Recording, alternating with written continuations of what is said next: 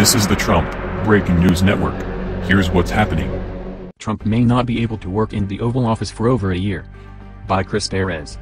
President Obama is apparently refusing to renovate the Oval Office, and has instead decided to pass the buck to Donald Trump, who may be forced to work somewhere else for a quarter of his term as a result of the numerous security upgrades that will be going on inside the room. My understanding is that for the first year of his time in office, President Trump will not have the Oval Office, former George W. Bush advisor Karl Rove told Fox News on Wednesday.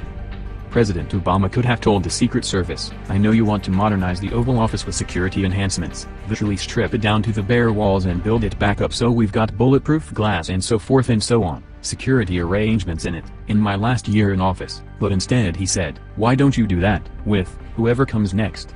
According to Rove, Trump may have to spend up to a quarter of his term working out of the Eisenhower Executive Office building across the street from the presidential seat of power, which is where President Richard Nixon recorded some of his infamous White House tapes. My understanding is, Trump will spend most of his first year using Richard Nixon's old office in the old Executive Office building across Executive Drive and up the Navy steps, Rove said.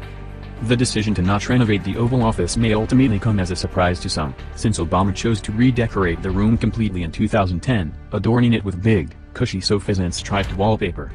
It looked much more comfortable and less intimidating, Elle Decor editor-in-chief Michael Boodro said at the time. In 2013, Real Clear Politics reported that a replica Oval Office was being constructed in the and was expected to be completed later that year, but the plans eventually were scrapped.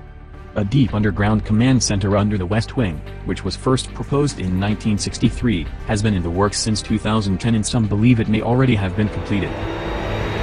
This has been the Trump Breaking News Network. Please subscribe and share to stay up to date on the latest news about our president. Be informed.